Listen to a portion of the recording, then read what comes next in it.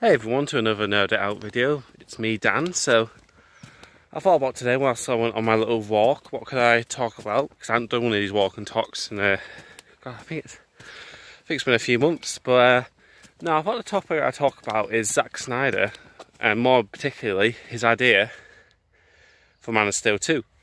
Now it feels like a bloody ping pong game with him and Warner Brothers of like, uh, oh, we've got a casting for Green Lantern well, I've had I had a Green Lantern in my film. Uh, we're making a Superman film. Okay, people thought it was going to be that Val Zod or that other character. No, we're making Carol Black. Um, we're doing this, this, and this. Okay, that's fair enough. That's you do your Elseworlds thing. I'm all for it. Go for it. Maybe instead of uh, Clark Kent, maybe Val Zod interesting backstory, you should look it up. I'm like, okay. So Zack I thought, well, well, obviously because I had ideas and plans for continuation of, you know, the DC universe. Of course, it was going to be Man of Steel 2, and it was going to be against Brainiac, which is absolutely fantastic. Um, I saw him in Superman Unborn, Unburned, I think it's called something like that, where he's fighting Brainiac with Supergirl. Really good animation film you should check out. Um, Injustice 2, Brainiac is the main villain and he is ridiculously powerful. And Brainiac was going to have some helpers. Who do you ask? Well, I shall tell you. It was going to be uh, the remaining people from the Man of Steel, the uh, Kryptonians that went into the Phantom Zone.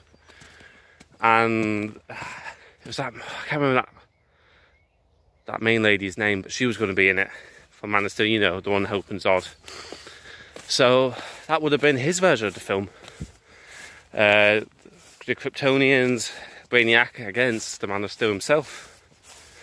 And that, oh, that would have been epic.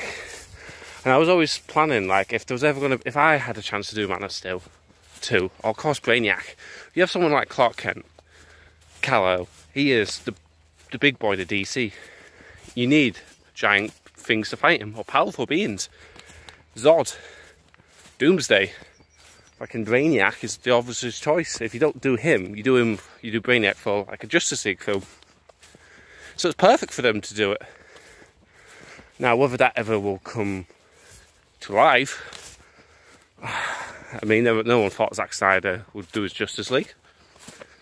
So, you know, stranger things have happened, and they could do it if they open if Warner Brothers truly opened up to the multiverse, not open some of it, but not some parts. So, yeah, so not nothing too much on that, but it's a fucking great idea.